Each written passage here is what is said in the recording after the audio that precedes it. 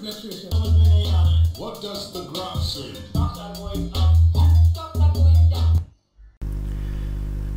morning, friends. Welcome once again to Nifty analysis from tradingfab.in कल हफ़्ते का पहला दिन था और हमने ज़बरदस्त तेज़ी निफ्टी इंडेक्स में देखने को मिली हफ़्ते के पहले ही दिन। आज है twenty fifth August two thousand twenty Tuesday है। सुबह के आठ बजकर थर्टी एट मिनट्स हो रहे हैं। आज क्या निफ्टी में इंट्राडे लेवल्स हो सकते हैं, उसको आइडेंटिफाई करेंगे। सबसे पहले ग्लोबल मार्केट के हालात देख लेते हैं।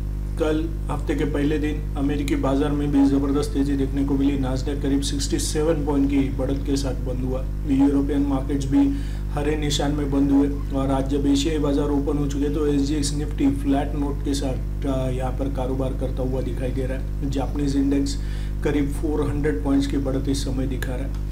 डाउ फ्यूचर देखें तो 150 पॉइंट के बढ़त के साथ इस समय ट्रेड कर रहे हैं। एशियाई बाज़ार आज भी ज़बरदस्त तेज़ी में देख रहे हैं, लेकिन हालाँकि एस निफ्टी एक फ्लैट नोट के साथ यहाँ पर इस समय कारोबार कर रहा है। तो सबसे पहले मंथली चार्ट को एक बार फिर से देखेंगे। निफ्टी का इंडेक्स का जो मंथली चार्ट है, अगर आप हमें कई दिनों से फॉलो कर रहे हैं तो यहाँ पर ये जो बेरिश कैंडल का हाई का लेवल है, यहाँ पर ये हर्डल बना हुआ था। ये इसका 11,433 लेवल जो था हाई का लेवल कल इसने ब्रेक कर दिया है। हालाँकि अभी ये मंथली चार्ट हम देख रहे हैं मंथ कंप्लीट नहीं हुआ है अभी भी चार दिन बाकी है मंथ कंप्लीट होने में। तो अगर ये इस बियरिश लॉन्ग बियरिश कैंडल के हाई के ऊपर अगर ये कंफर्टेबली क्लोज देता है इस महीने में ये अगर ये मंथ ख़त्म होते वक्त तो यहाँ से ज़बरदस्त तेज़ी निफ्टी इंडेक्स में और भी हमें देखने को मिल सकती है। तो यहाँ पर ब्रेकआउट मिल सकता है। ये बेयरिश कैंडल का ब्रेकआउट यहाँ पर मंथली चार्ट में मिल सकता है। अभी तक ये कंप्लीट नहीं हुआ है कैंडल चार दिन बाकी है।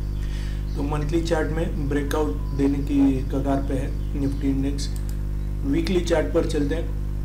वीकली चार्ट में जो ये लास्ट चार कैंडल्स थी यहाँ पर एक कंसोलिडेशन फ़ेज़ देखने को मिल रहा था। ऊपर जाते वक्त ये यहाँ पर 11,400 के पास ये हर्डल फेस कर रहा था और नीचे आके ये क्लोज हो रहा था।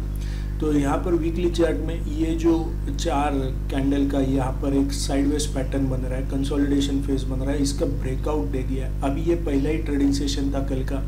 अगर निफ्टी यहाँ से और भी ऊपर की तरफ़ पड़ता है तो फ़र्स्ट यहाँ पर इमीजिएट रेजिस्टेंस होगा 11,600 के पास। जहाँ पर इसने पास्ट में एक जो यहाँ से एक फॉल आया था जस्ट यहाँ पर सपोर्ट टेस्ट करके एक बाउंस बैक दिखाया था।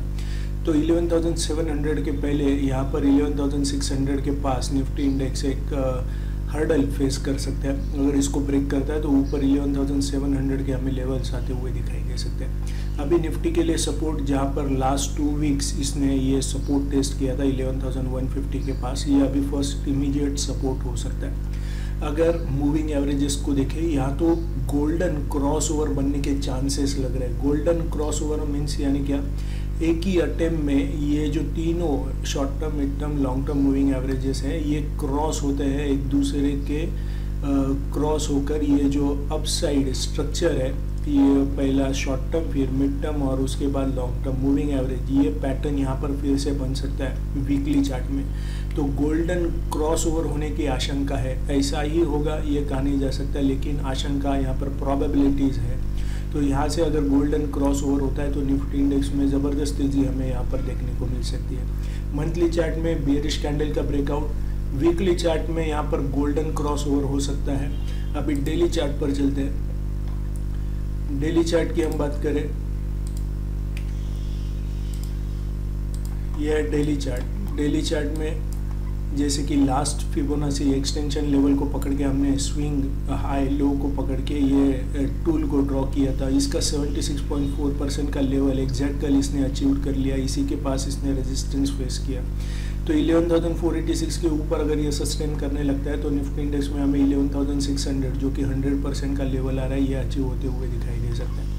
जैसे कि सपोर्ट के लेवल्स हमने आइडेंटिफाई किए। 11,150 के पास फ़र्स्ट सपोर्ट आ रहा है एज पर वीकली चार्ट लेकिन अगर डेली चार्ट को देखें तो यहाँ पर ये जो स्विंग हाई बना है ये अराउंड 11,400 के पास बना है। तो 11,400 जहाँ पर ये हर्डल फेस कर रहा था कुछ दिन तो ये अभी सपोर्ट का काम कर सकता है। जो पास्ट में रेजिस्टेंस का काम करता है वो फ्यूचर में जाके सपोर्ट का काम करता है। तो नीचे 11,400 ये सपोर्ट का काम कर सकता है और ऊपर अगर 11,486 के ऊपर अगर सस्टेन करता है आर्ली चार्ट में तो निफ्टी इंडेक्स में और भी तेज़ी हमें यहाँ से देखने को मिल सकती है। RSI की बात करें RSI में एक पैटर्न बन रहा है जिसका नाम है राइजिंग बॉटम्स यानी डब्ल्यू पैटर्न आप यहाँ पर देख सकते हैं, ये राइजिंग बॉटम बना था डब्ल्यू पैटर्न तो इसके जस्ट ऊपर अब जाकर देखें तो यहाँ से ये तेज़ी आ गई थी। फिर जैसे ही राइजिंग बॉटम्स बनता है RSI में, ये राइजिंग बॉटम है, यानी इसे डब्ल्यू पैटर्न भी कहते हैं। ऊपर अगर देखें तो इसके बाद यहाँ से ज़बरदस्त तेज़ी देखने को मिली। फिर जैसे यहाँ पर ये कुछ एग्जाम्पल्स है, जैसे पास्ट में यहाँ पर राइजिंग बॉटम्स बनते हैं डब्ल्यू पैटर्न बनता है तो ऊपर प्राइस में भी हमें अपसाइड मूव आते हुए दिखाई देती है। तो फिर से अभी यहाँ पर एक डब्ल्यू पैटर्न बन रहा है। अभी भी इसके नेक लाइन का, ये जो नेक लाइन यहाँ पर बनी है इसका ब्रेकआउट मिलना बहुत ज़रूरी है। अगर इसका ब्रेकआउट मिलता है तो ये पैटर्न यहाँ पर कंप्लीट हो जाएगा और निफ्टी इंडेक्स में ऊपर की तरफ़ प्राइस एक्शन में भी हमें और तेज़ी आते हुए दिखाई दे सकती है। तो ये एक ऑब्जर्वेशन है, ऐसा ही होगा, ये कहा नहीं जा सकता, लेकिन अगर ब्रेकआउट मिलता है, फिर से एक बार डब्ल्यू पैटर्न का राइजिंग बॉटम्स का तो हमें निफ्टी इंडेक्स में और तेज़ी यहाँ से बढ़ते हुए दिखाई दे सकती है। तो चलते हैं 60 मिनट की चार्ट में क्विकली इंट्राडे लेवल्स को आइडेंटिफाई करेंगे।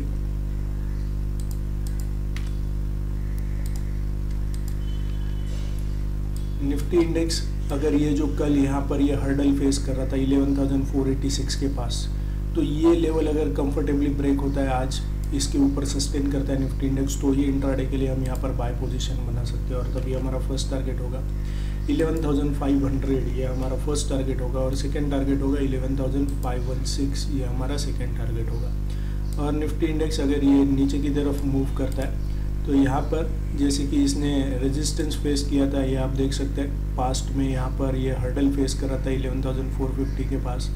तो ये लेवल को अगर ये ब्रेक करता है इस लेवल को अगर ब्रेक करता है सपोर्ट को तो यहाँ पर इंट्राडे के लिए हम यहाँ पर तभी शॉर्ट पोजीशन बना सकते हैं और तभी हमारा फ़र्स्ट टारगेट होगा 11,439 एक छोटा सा क्विकली फ़र्स्ट टारगेट होगा और सेकेंड टारगेट होगा 11,422 ये हमारा सेकंड टारगेट होगा। तो ये आज के लिए निफ्टी के इंट्राडे लेवल्स अगर आपको ये वीडियो एनालिसिस अच्छा लगा हो तो लाइक शेयर कमेंट ज़रूर करें और सब्सक्राइब करना ना भूलें। So thank you very much and happy trading trading fab एक ऑथोराइज पार्टनर है डिस्काउंट ब्रोकरेज फर्म्स का, जैसे कि जीरोदा है अपस्टॉक्स है फाइव पैसा है।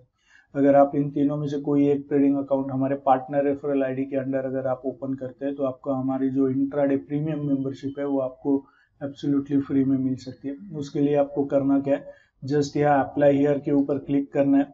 तो जैसे ये वेब पेज ओपन होगा तो आपके यहाँ पर डिटेल्स आपको एंटर करने हैं। तो ऑनलाइन प्रोसेस शुरू हो जाएगी। एक दिन में अकाउंट ओपन हो सकता है अगर आपके डॉक्यूमेंट्स रेडी है तो। अकाउंट ओपन होने के बाद आपका जो क्लाइंट आईडी है, वो आपको हमें इस नंबर पे कॉल करके कंफर्म करना है, ताकि हम आपको इंट्राडे प्रीमियम मेंबरशिप में ऐड कर सकें।